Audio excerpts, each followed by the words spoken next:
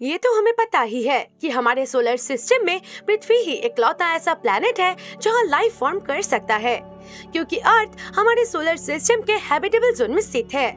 मतलब पृथ्वी सूरज से एक पर्टिकुलर ऐसे डिस्टेंस में मौजूद है जब पर्याप्त वायुमंडलीय दबाव दिए जाने पर भी उसमें लिक्विड वाटर रह सकता है। इन्हीं सब चीज़ों की वजह से अर्थ में जीवन का निर्माण हो सकता है।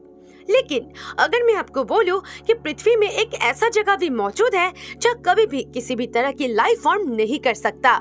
जी हाँ दोस्तों, इथियोपिया में एटा एल रेंज के उत्तर पूर्व में मौजूद डेलोल ठीक ऐसा ही एक जगह है। डेलोल बहुत ही यूनिक जगह है, क्योंकि ये जगह इसके हाइड्रोथर्मल सिस्टम अनर्दी कलर्स और मिनरल पैटर्न्स की वजह से जाना जाता है। According to the researchers of the Spanish foundation for science and technology Dallol का लैंडस्केप डिफरेंट तरह की नमक से भरे ज्वालामुखी क्रेटर के ऊपर फैला हुआ है, जिसमें तीव्र हाइड्रोथर्मल एक्टिविटी की वजह से लगातार उबलते पानी के साथ साथ जहरीला गैस भी निकलता रहता है।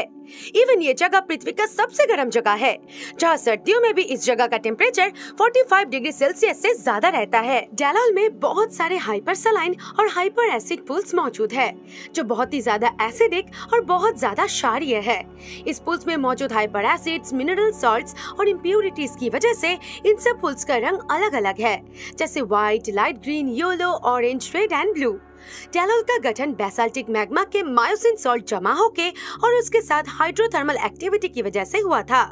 इस जगह की लैंडस्केप में बहुत ज़्यादा मात्रा में पोटैश मौजूद है। इसी वजह से यहाँ के वोल्केनोज येलो कलर के दिखते हैं। डेलोल के ऐसे एटमोस्फियर और डिफरेंट कलर्स के लैंडस्केप्स की वजह से कुछ रिसर्चर्स इसे अर्ली मर्स के लैंडस्केप के साथ कंपेयर भी करता है। आशा करती हूँ आपको ये वीडियो पसंद आया होगा। अगर आपको ये वीडियो पसंद आए तो वीडियो को लाइक और चैनल को सब्सक्राइब ज़रूर करना।